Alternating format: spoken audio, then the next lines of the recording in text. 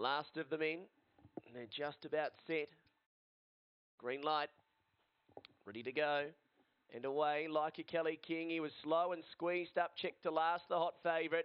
Going out quickly, Chalice Magic, what's his caper, and then Qatar Girl, like a Kelly King getting up on the rail, then Lightning Parade, Lecter Elsa and Banuartis, like a Kelly King, he'll drive through and he'll just win it, like a Kelly King by a length and a quarter, second very close, what's his caper, I'd say, ahead of Banuartis, and then Chalice Magic, Lightning Parade, and Lectra Elsa was last in, Qatar Girl a long way off them, 17.09 for the $4 favourite.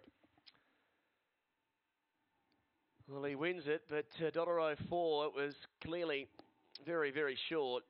And he gets the job done nonetheless. Like a Kelly King, the winner, number four. He'll make it uh, three on the bounce since returning from a spell.